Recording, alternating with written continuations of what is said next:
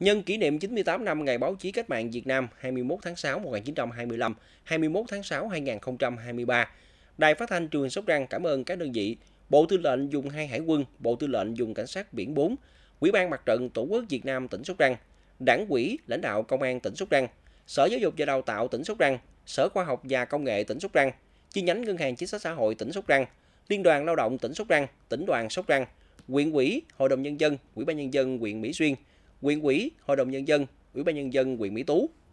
Đài Phát thanh Truyền hình Sóc Trăng cũng cảm ơn tập đoàn Lộc Trời, tập đoàn Y tế Phương Châu, tập đoàn Công nghiệp Viễn thông Quân đội Viettel Sóc Trăng, bệnh viện Đa khoa Quốc tế SIS Cần Thơ, bệnh viện Hoàng Mỹ Agribank Sóc Trăng, Vietcombank Sóc Trăng, Mobifone Sóc Trăng, trường cao đẳng cộng đồng Sóc Trăng, trường iSchool Sóc Trăng.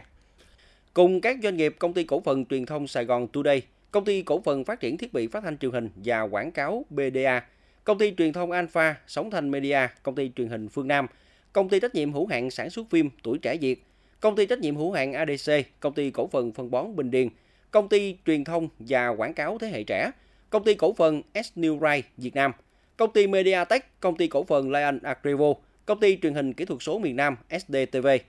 công ty cổ phần vàng bạc đá quý Phú Nhuận, chi nhánh BNJ Sóc Trăng. Xin trân trọng cảm ơn những tình cảm tốt đẹp và sự quan tâm, tin tưởng của các cơ quan đơn vị doanh nghiệp. Kính chúc các đồng chí lãnh đạo và các cơ quan đơn vị doanh nghiệp sức khỏe, hạnh phúc, thành công.